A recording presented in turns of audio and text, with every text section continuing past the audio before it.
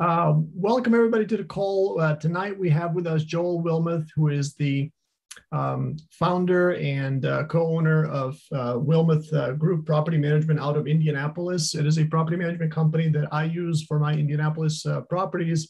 And Joel is a Indiana and Florida licensed broker, as well as a realtor and member of National Association of um, Property Managers. And you know, he is founder and co-owner of the business, and yet he has a boss. He reports to his uh, wife, Jennifer Wilmoth. That's got to be a lot of pressure. It's been a it's been a 20 years of learning how to work with your wife. nice, yeah. My wife yeah. and I just started a business. And I still don't have it down yet. she would tell you I screw up every day. Well, and and uh, here I was I was watching on your on your website says avoid you avoid uh, cold weather and snow. Uh, you consider baseball the national pastime, and you receive companionship and business consulting from a dog named Buddy. I had to read that one. Yep. In fact, Buddy was going to come in here with me. I thought he was going to do the podcast with me, but he he bagged out at the last minute. it's okay. We'll have it recorded so you can see it later on. Okay. Uh, speaking of which, maybe I could just share my screen real quick to, to show you guys. I haven't done this in a while. Um, I don't know if everybody's aware or not, but um, uh, let's see. So I'm going to see if I can share my screen here. Share screen, this one right here, share. Okay, so whenever you guys are able to see my screen, I can show you here what I'm talking about. Joel, can you see it right now? I can, yes. Okay, great. So uh, basically, this is the this is a website for our group. It is club500.us.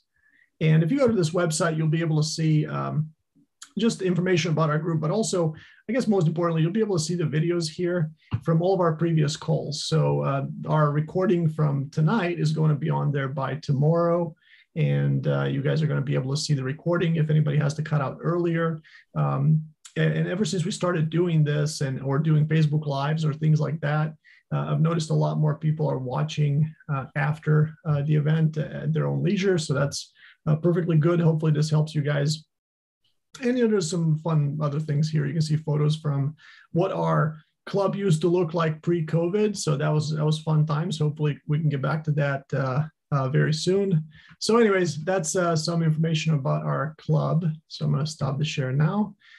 And I want to jump right into it, Joel. I, I was looking forward to this, and we um, our, our, original meeting time was supposed to be on the 12th yeah, uh, which would have been closer to the end of the eviction uh, moratorium. But now it's been what a month. Not quite, but yeah, it, we're getting we're getting uh, three weeks. Yeah. Okay, perfect. So the eviction moratorium, just to remind everybody, it uh, it went into effect. Uh, it was started by, I guess, the the CDC initiated. Is that right? Yeah, it, you know, uh, I don't want to politicize it. It basically was supported by two different uh, political party elected presidents and uh, started under uh, Trump and continued under Biden. But it was done through the executive branch, through the CDC's, uh, um, the disease control department. Perfect, perfect. Well, um, I appreciate that. We we stay very apolitical on uh, on our uh, on our pod. So um, so yeah, so it was started by originally, I guess, from the CDC, and then the executive branch gets involved, and uh, and it, lasted for how long? Started um, September fourth of 2020, and uh, the Supreme Court. I, th- I believe I thought I had that date written down, but I, I think uh, it was August 26th. Yeah, yeah, that's what I thought around that time frame. So that is a long time for a landlord. So during the eviction moratorium in all 50 states, you could not evict anyone for any reason. Is that correct? Well, there were um, limitations on it, but they it was a pretty wide door. Basically, if you if you summarized it, a tenant just needed to say that they'd been adversely affected by COVID. Okay, so if I remember correctly, basically they didn't actually have to lose a job. They didn't actually have to lose income. They didn't actually have to, all they have to do is say that they were affected. Or that they'd be threatened by being evicted and not having any place to move to. Okay. So I guess, I mean, you run, uh, you know, I have a sample of properties uh, that are mine, that are rentals. so I can kind of extrapolate from my sample. But how how was everyone affected in in Indianapolis? How many units do you guys manage? Well, we manage about a thousand units in central Indiana. Wow. Uh, the, the CDC, the, so, you know, a quick summary of, of this. When, uh, when COVID started, you know, to me, our tenants that were um, people that had really actually been adversely affected by COVID actually tried to work with their payments, but the people that were going to be bad tenants pre COVID were not going to do really anything to try to make payments or change anything. They just kind of hid behind any rules that went in place. And most areas, initially, in like March or April of 2020, there were local moratoriums that, that went into place. And um, it was not until September that there was an actual federal moratorium. And, and it's also important to distinguish that because there's a lot of different moratoriums. Um, there is still in place until the 1st of October a moratorium on evicting people that are in homes that are insured with a federal mortgage. So that did not go away. That was for for for whatever reason not part of the you know Supreme Court decision. The Supreme Court decision was, uh, you know, that thing with with the uh, insured mortgages was really done within those agencies, where the CDC was directly directed toward renters and protecting renters. And so the, the, the Centers for Disease Control basically produced a document that was a declaration that any tenant could sign that had certain conditions associated with it, but it, but it generally was just I've been affected by COVID. I would be negatively affected if I had to, you know, if I was evicted or if I had to leave my current housing. And um, initially, in, no, in, in September of 2020, you know, my initial reaction was this is unconstitutional. A, a branch of the government doesn't have the right to break contracts that private businesses. It, it, has to be legislated. And that was always the argument.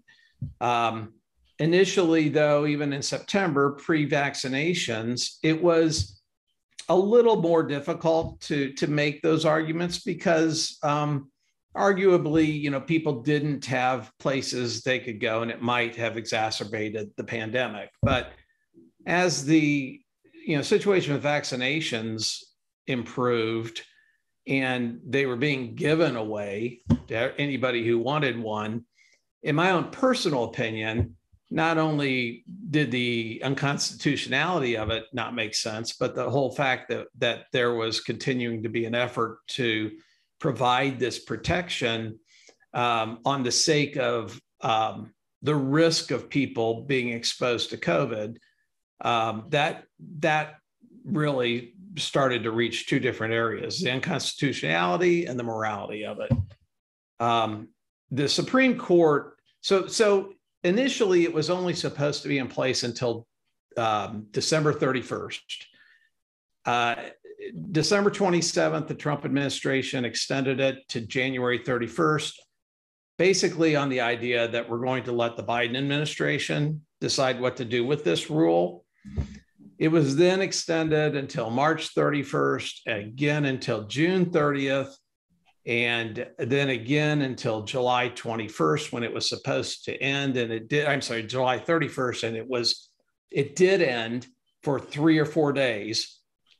And in the month of July, the Supreme Court had list, had, had heard um, legal cases that had come up that had been sponsored actually by the Georgia and Alabama Board of Realtors.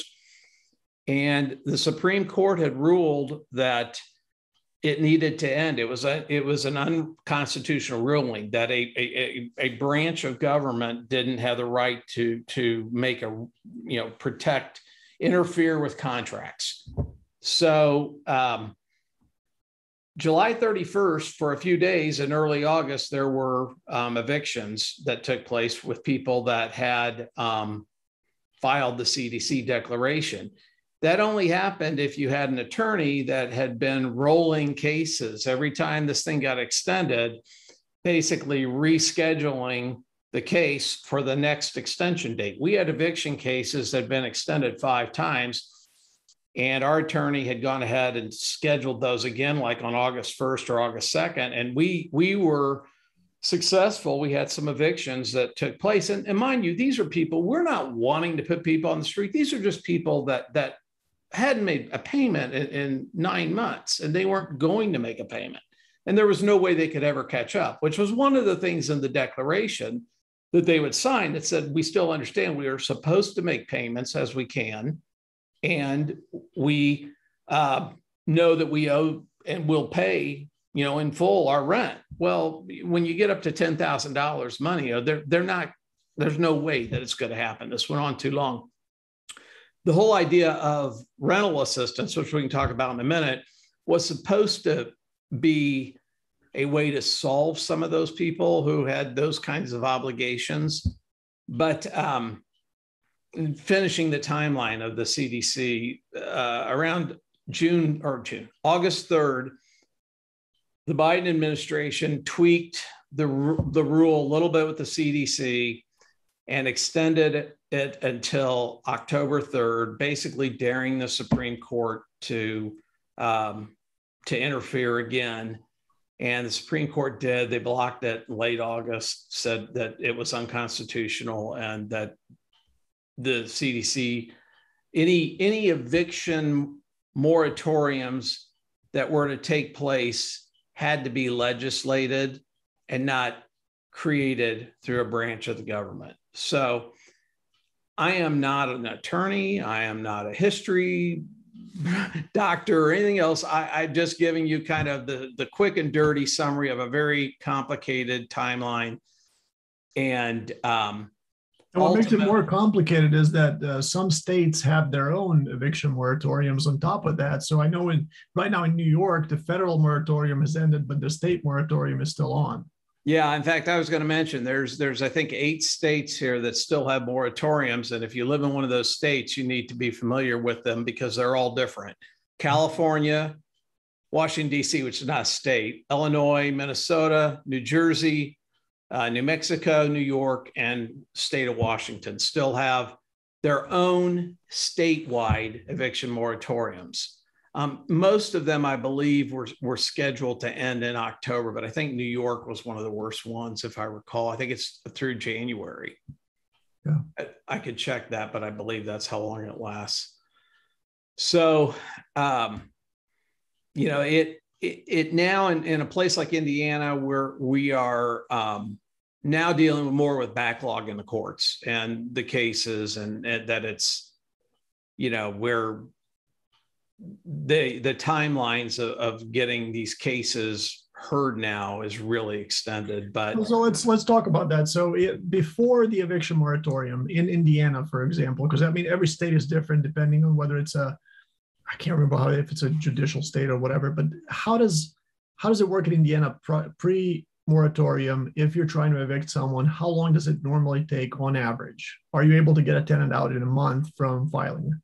Yeah, I think that would be normal. Um, I almost forget what normal was like, but um, it was. Uh, you go back to 2019. You know, we would we could file, probably have a hearing within 10 to 14 days. Uh, usually have about 10 days to 14 days of, of possession after the hearing. And, and then the, the tenant was supposed to be out as a timeline. Um, now, most of the cases as they're getting scheduled now are probably three weeks to get scheduled. The one thing that's that's interesting that our judges I'm seeing frequently right now is that um, they're basically giving the tenant the opportunity to vacate without an eviction on their record, yeah. which is going to be a shame because, you know, ultimately you're going to have to really dig into the court cases for each applicant if you're going to really determine if somebody was involved in this. Um, they're not going to uh, involved in, in not making the rent payments through this time period. Um, and, and I know in some states, I've heard in New York, you can't even now use eviction history as a as a uh, approval process. That, that that history is not permitted for approvals now. I'm fairly new to New York, so I'm still learning. But uh, but yeah, that if if there's a state who will do that. yeah, I mean it, it's going to be trying to determine rental history is going to be, I think, very complex going forward because of all these issues. Um, so theoretically, but, you could have somebody who was in a property for a year, uh, didn't pay rent for a year, just kind of took advantage of the program, regardless yeah. of being affected or not affected, took advantage of the program for a year, walked out, uh, and with no ding to credit history, because that was a part of it, correct? Credit history as well. Well, you know, I, here's here's how ultimately credit history happens: is either the landlord reports it or you ultimately get a judgment for damages, um, and damages can be nothing more than unpaid rent. Mm-hmm. There has been nothing that says that the unpaid rent through the CDC eviction moratorium is somehow forgiven or you know taken away. So that obligation still is there. Um, it's up to a, a landlord to decide if they want to pursue those damages cases. That's really the, the ultimate question, and it and it becomes the question is it, it it's good money versus bad. You're you're going to spend money to get a judgment that will end up on the applicant or on a person's credit report that becomes a red flag for somebody who's doing underwriting of applications but the landlord's going to basically in order to obtain that judgment is going to spend court costs and legal time in order to get that and then they're going to have to collect on it. And collection particularly on you know some of these some of these folks is going to be very very difficult. Yeah i've noticed that as well. I mean I, I have to say through covid i was impressed at how many tenants actually were paying rent and were paying yeah. on time i would say probably you know um, 5% in my case were um, were not paying rent. But even those were uh, actually trying to get assistance and got approved for assistance. And so we got uh, payments eventually uh, from from the government. But it's one hard thing is when you get the judgment as you know it's not that easy to collect yeah. Because you know wage garnishments are the easiest uh, way to do that but you have to know their new place of residence you have to know their new place of work and that's not easy to get. And then you've got to get the employer to complete uh, you know like an interrogatory that that confirms they're an employee there and yeah it, it's very time consuming and by the time that you complete that you may they may be on to some other job. Um, i mean collection I, I tell any landlord if, if if they're really hoping to recover through collection then that's probably the wrong you know that's a wrong wish because it just is not going to be a likely recovery scenario. In most cases, you do you, you pursue damages for the principle of the thing. Going back to your question, um, it gets it gets a mark on their credit report. It, it, shows a judgment. It shows that they owe somebody money. And if they ever do decide they want to buy a car, you know, uh, through you know borrowing money through a bank anywhere. Uh, they're they're going to ultimately be faced with the dilemma of trying to pay that or settle that judgment with you yeah. Um, which does happen every now and then so yeah i guess they're um, you know the, you can go for the wage garnishments after a judgment or you can uh, turn it over to a collection agency which typically they'll take about a 30% cut if they're able to collect correct but a lot of times they're not able to collect so you don't really get anything for that at all right right I've never it, it never made sense to me really. If you if you you know fill up gas at a gas station and you don't pay for it or you pay with a bad card or you get write a bad check, they know where you live. And if it's you know 200 bucks, they will find you. But if if a tenant owes a landlord five thousand dollars and a judge says yes, you you actually are entitled to that money, they owe you that money, but we can't garnish wages because we don't know where they work. I've never really understood why why there's a difference. Well, we and I would suggest anybody does. We use a, a attorney. To me, it's worth the potential cost, um, and they do keep a third. But but here's what he does: he every month takes the he, he's got to have their social, and that's a big problem. That a lot of times when we take over portfolios of properties, we do not receive, whether it was ever obtained or not, but we don't receive enough background information on the tenant to be able to to do what would ultimately be needed in a collection scenario. But if you have their social security and, and secondarily their driver's license, uh, but mostly social, they once a month do a, a, computer program with the Indiana workforce, and they, uh, it, you know, if someone's working, they'll they'll get a match. They'll find them. Okay, so, that, that's what I need. Okay, I didn't know. I didn't know about that.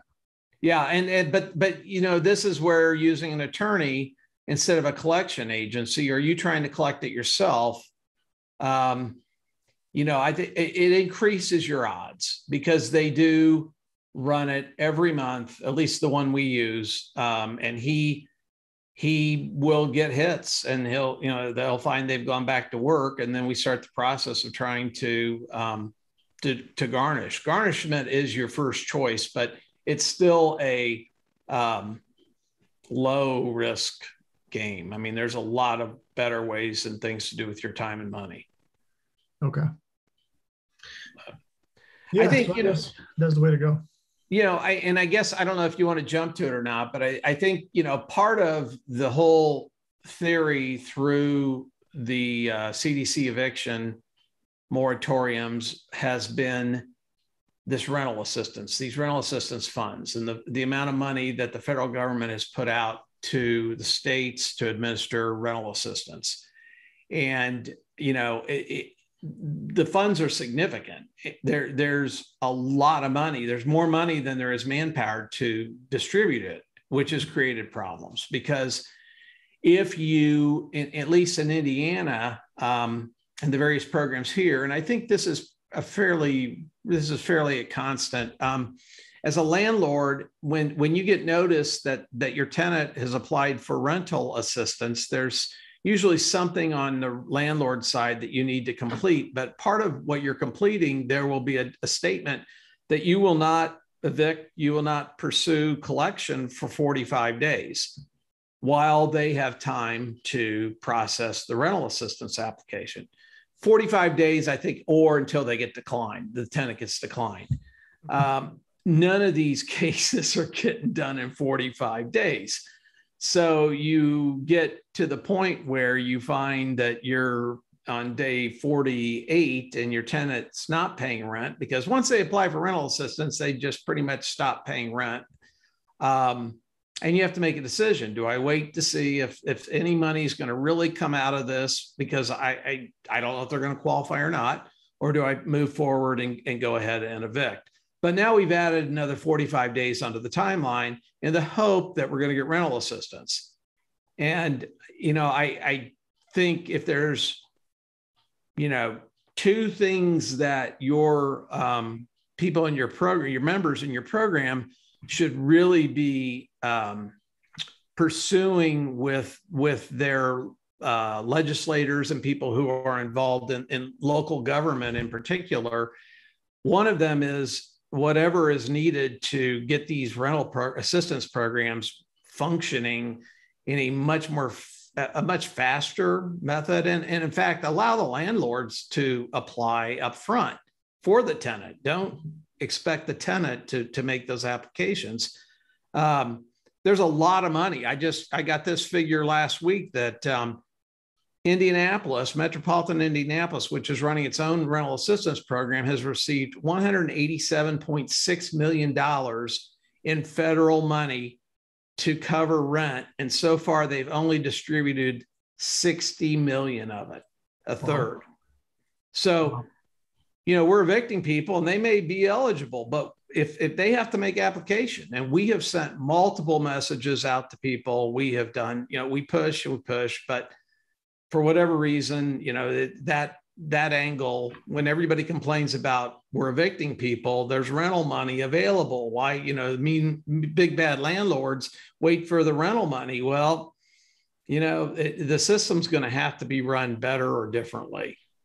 Mm-hmm. uh, the second thing is i think people are going to really have to watch their um, legal system their the, the, their legislators because even Today, um, there is a new bill that was introduced in Congress, and this is this is the risk going forward, and it's called the. Uh, hold on, and I'll get the name of it. But it was introduced by Elizabeth Warren and Cori Bush, and it's called the Keeping Renters Safe Act of 2021, and its aim aim is to protect te- protect renters from eviction by amending Section 361 of the Public Health Service Act to grant Health and Human Services and the CDC permanent authority to implement federal eviction moratoriums to address public health crisis. Ouch. So this is probably just the first of these bills and you know people at least i know that are close to the lawmaking process tell me that there's not enough votes for these kind of bills to pass.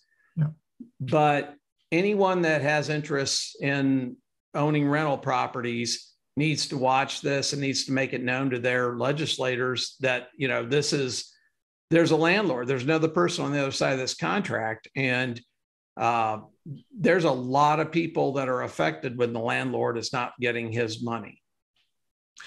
Yeah i think a lot of his or her money excuse me. Yes and i think there's a lot of misconception out there both with uh, I don't know if there's with legislatures or, or not, but I know there is with with tenants for sure. And you know, tenants always think that if if the rent is twelve hundred dollars, then the, the landlord is making twelve hundred dollars a month.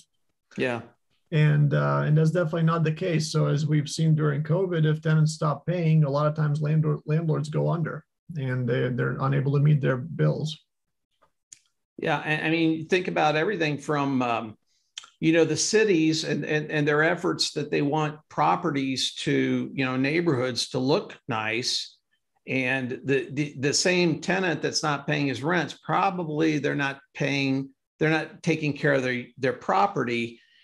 And the landlord that might have stepped in to do that when they were receiving rent who hasn't received rent for 6 months probably doesn't have the money to mm-hmm. To take care of that property. So the property and the values deteriorate.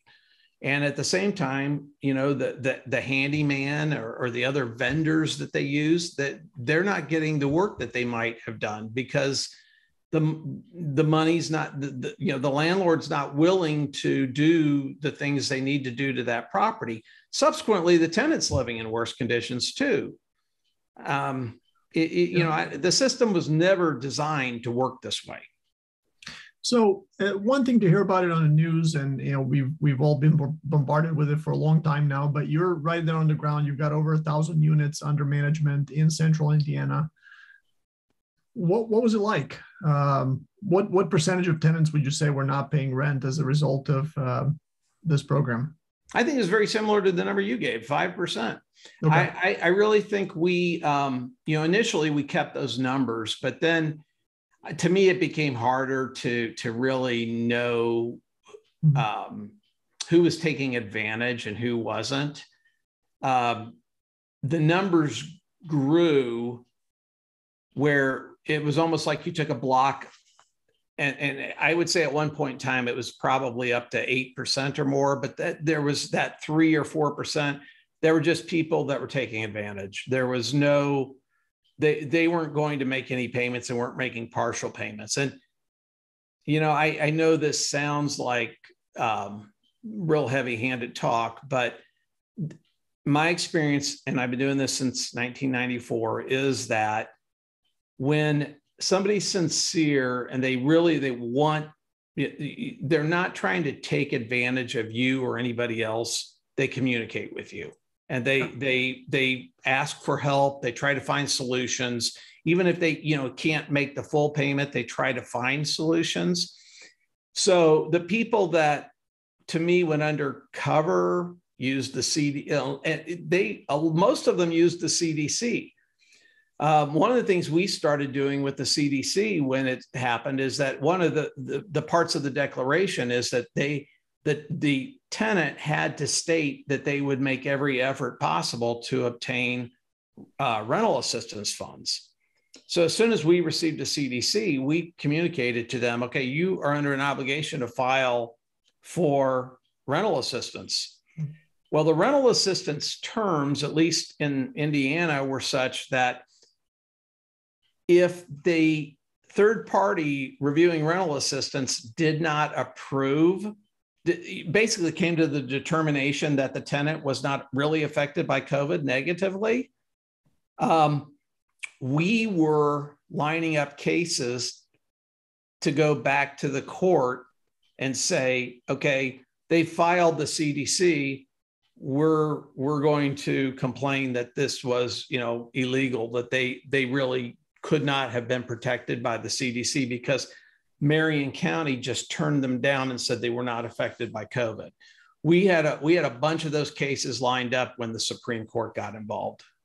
So okay. I'm giving you a really long answer, but but to me there were two different types of people. There were people who were legitimately needing help, and they were the same ones who were communicating yesterday and today and then there was just a group who were going undercover hiding yeah and i was treating them differently as well during the during the pandemic because you could definitely tell the ones who are, who were trying uh, i've had tenants that you know who were late late by a month and then the next month they would completely pay back everything they're, they're late yeah and uh, and over time they got back on track and we're, we're perfectly fine so we were treating those definitely differently not just because of the moratorium but just also on a human level i mean you can kind of tell who's really trying and who's not So yeah, we had that. Yeah, we had that too. We had you know people that were totally protected by the CDC, and they brought their rent current. I mean, over nine months or whatever. Yeah, almost a year.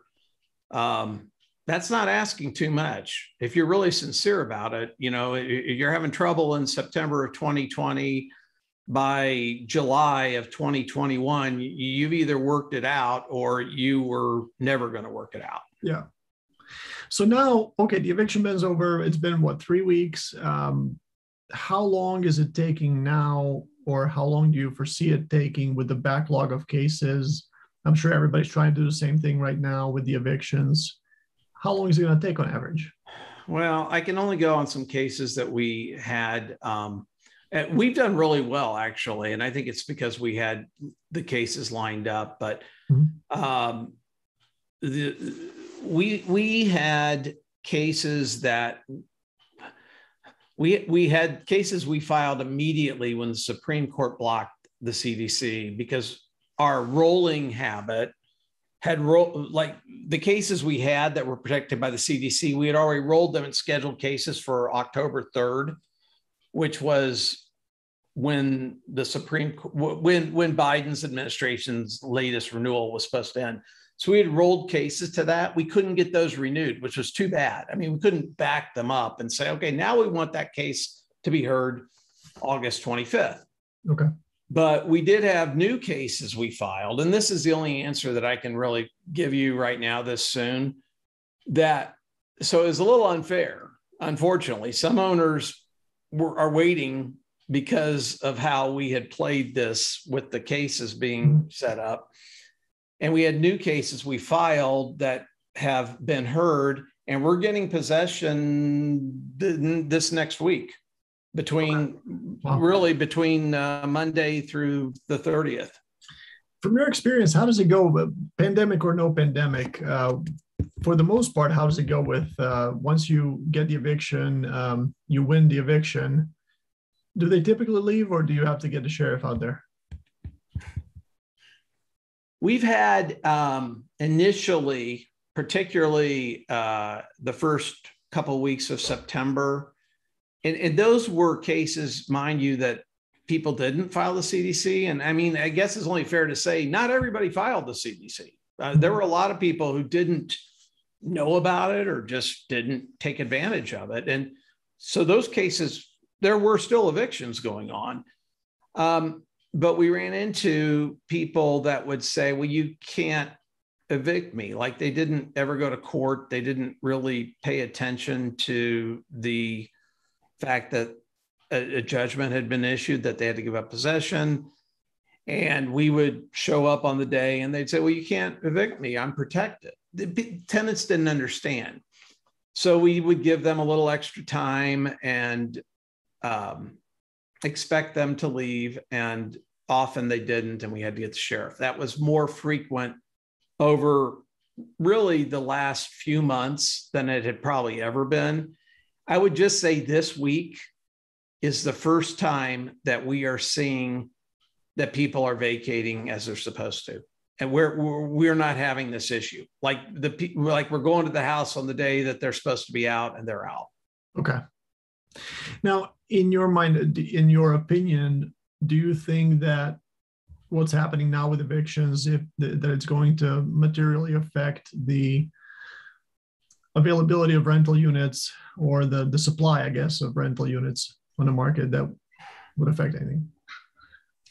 That's a real tough question. I mean, obviously, everybody knows that the whole inventory of supply, you know, the supply and demand have been way out of whack, which has been interesting because even in the investment market, um, there's two camps. I mean, it's it's kind of mm-hmm. black and white. You're either you're either in and you're taking advantage of this moment to try to buy property, or you're out and sick of it and you just don't want to have anything else to do with it. Yeah. Um, so we've had both, and I it's been an I'd say an equilibrium. There there's been people on both sides of that equation and it there hasn't really been a significant bump one way or the other ultimately.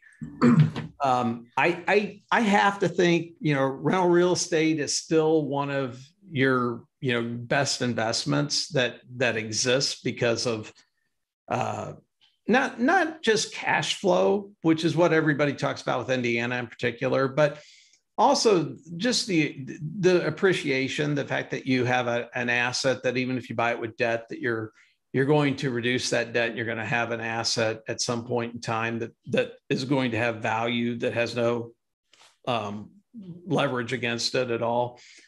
Um, that's going to still come through.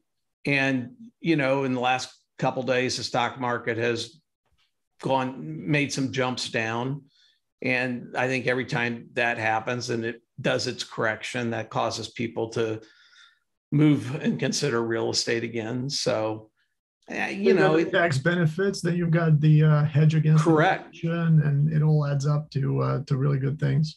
Yeah, I I, I just don't.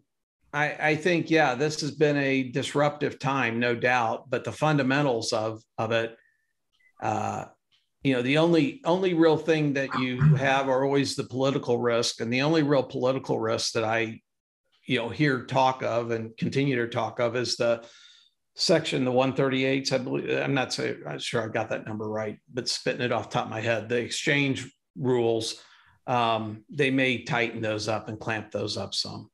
Okay. 1031 exchanges? Yeah yeah yeah yeah. Yeah i've heard that uh, we actually had um, we had a guest on, uh, uh, was it a couple of weeks ago, uh, talking about that, and he was a um, an expert on 1031 uh, exchanges. So if anybody wants to know more about that, go to club500.us under videos. You can see the recording of that uh, of that podcast when we had uh, that guest on the show. So one last thing I wanted to say about the supply. I know in Indianapolis, in particular, looking at reports, this was maybe a year or two years ago. Indianapolis was marked as having hyper supply or oversupply of rentals. And I always found that really funny because for my portfolio, I have a, the properties in Georgia, I have properties in Indiana and Pennsylvania. Indiana or Indianapolis by far has had the highest occupancy. Hmm. Yeah, I, I I'm not familiar with that study. I, you know, I you know it, partially sometimes when people do these studies too you have to look at what what they define as the look as indianapolis and indianapolis is like any metropolitan area i guess where you have the city, and if you say the city of Indianapolis, you know, what's the composition? Um, you know, it it probably is higher on renters. Um, it, it, that's what you said, right? That the well, they were the, saying hyper supply of rental units, uh, supply, but, more but supply that versus demand. But I didn't see that myself. I mean, it seems like we've had almost 100 percent occupancy over the last few years. so they were saying that the supply far exceeded the demand. Yeah, this was, I think it was about like two years ago, actually, that I saw this study. So, um, but I remember thinking it didn't, it didn't jive with what I was seeing there because uh, our units were getting rented very quickly and we didn't really have much vacancy. Yeah, I I don't have the numbers right in front of me right now, but um, if anything, that what's happened this year is is similar to the uh, buyer market for someone for their owner occupied. It's the the the every property has multiple applications, and it Okay. it doesn't it, as long as it's priced correctly. I, and that's one thing maybe a little different in Indianapolis is that we haven't had this huge uh, supply demand bump in in the rental rate, um, but but nothing's staying on the market long at all. Good. Yeah. Right, so I, I don't I don't know what exactly they meant by that, but that doesn't I I we don't see that. Perfect. Well, it's good. I'm actually glad that that, that I saw that because I thought maybe more for us. maybe somebody will see that and won't buy there, but I I, I love it. I think uh, I think Indianapolis has done really. I mean, it's done really well for us. So I, I kind of wish we bought more units back then. Yeah, we Um, we literally see. I mean, for everybody that gets out of the market, it seems like we get a new phone call from somebody that wants to get into the market.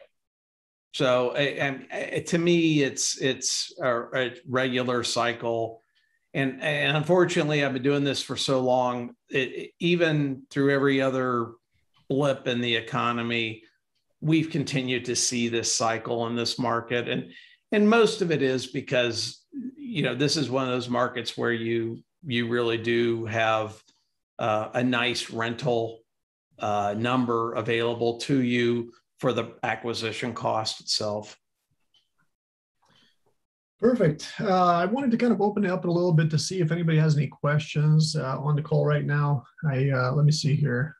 I saw Joe Holmes earlier. I know he had some thoughts on it, but I don't see him anymore. I think he might have had to go. I bored him. If anybody, no, no, definitely not. He was very interested in this one. But um, anybody have any questions? You guys uh, feel free to unmute yourself at this point. Uh, we can uh, we can get those answered.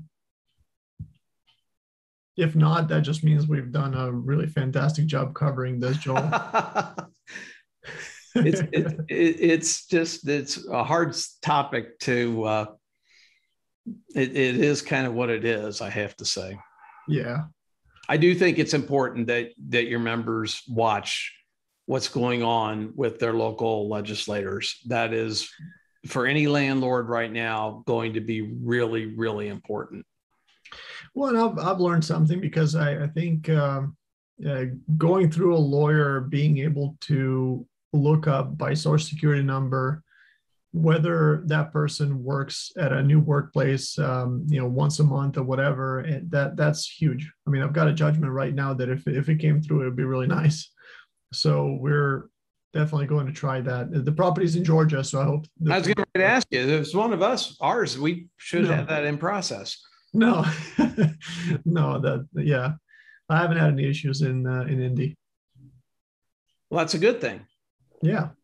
Well, perfect. I think we're yeah we did a good job uh, covering it. I, I want to thank you again for for coming. I know that you know on the 12th we were going to do it. So sorry again about that. We didn't uh, manage to to meet up on the on the 12th, but thanks for coming anyway. This was really great and uh, super useful. And I wanted to give our members a chance to contact you if they if they need to, or if anybody has uh, units in Indianapolis or thinking about getting units in Indianapolis. I think we also have some turnkey properties available there. So if anybody uh, wants to get in touch with you, what is the best way?